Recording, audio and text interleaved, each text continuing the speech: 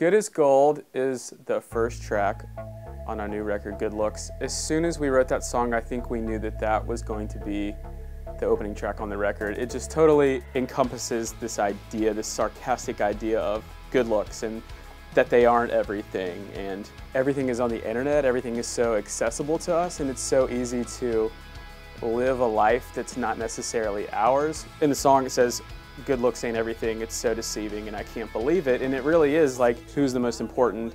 Who's doing the greatest thing right now? Where am I? What am I doing? Who am I with? We're guilty of it too, and we live our lives in a way like feeling social gratification. If you're not on social media, if you're not involved, then who are you? You are judged on that. Really, we just wanted to take that idea and just blow it up into an idea of good looks ain't everything and we don't have to live our lives by what everybody else thinks of us and, and receiving that social gratification that we so desperately need and we don't even know it.